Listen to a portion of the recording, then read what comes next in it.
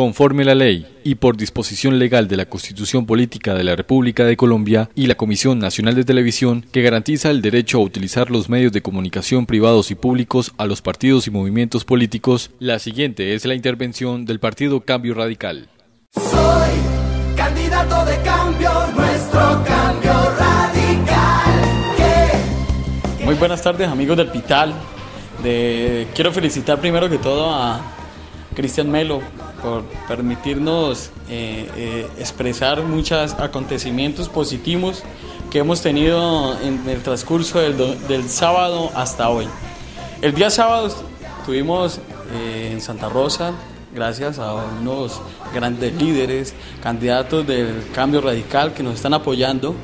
Y pasado el domingo, estuvimos en la mañana en la galería, hubieron unos eventos, les cuento que fue algo en excelente, una acogida de los amigos campesinos que hemos tenido en toda esta, todos estos días. Y terminamos el domingo en la tarde en, la vereda del Retiro.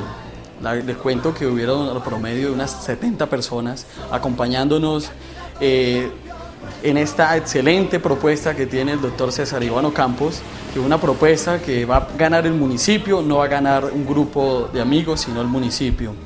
El día lunes estuvimos visitando unas casas aquí en la vereda Playa Rica, que eh, la gente le encanta mucho dialogar con el candidato.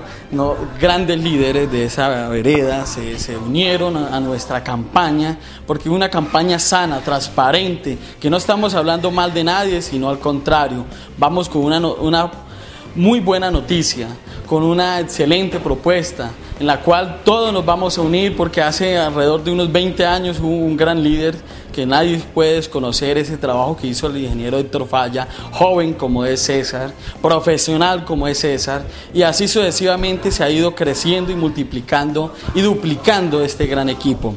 El pasado martes estuvimos caseando la vereda San Joaquín, verdad ha sido una sorpresa enorme, eh, esa cantidad de líderes, personas que, que, quieren seguir esta propuesta y que estuvimos también en la vereda Mesitas, que fue algo estupendo, excelente.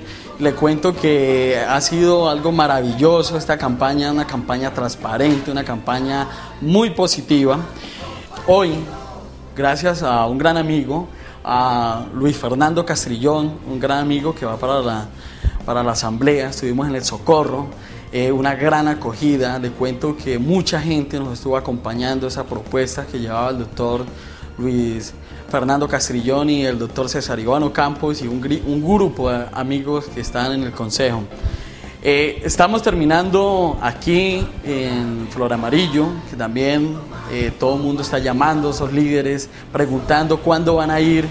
Entonces el tiempo cada día va a ser más corto para nosotros porque le cuento que ha sido algo excelente, maravilloso, esta campaña, una campaña sana, transparente.